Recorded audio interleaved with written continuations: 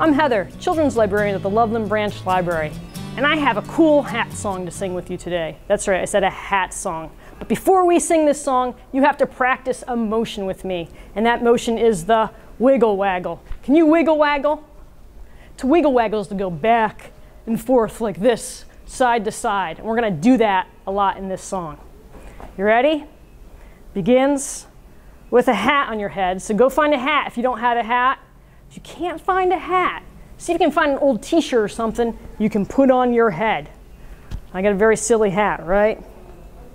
Song goes like this On my head, I wear a hat. It's a very silly hat, and my head does wiggle, waggle to and fro. Where else can my silly hat go? Can you make your hat wiggle, waggle on your head? Or your t shirt? Where else can we put this hat? Let's try our elbow. Can you put your hat on your elbow? So the song's gonna now gonna go on my elbow I wear a hat. Ready? On my elbow I wear a hat. It's a very silly hat that my elbow does wiggle, waggle to and fro. Where else can my silly hat go? So we've done head and elbow. What else can we do? Yeah, what about hands, right? I'm going to put both of my hands in this hat.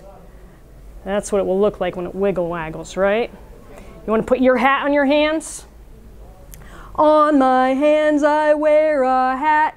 It's a very silly hat that my hands do wiggle, waggle to and fro. Where else can my silly hat go? Can you think of another body part to put your hat on? Think hard.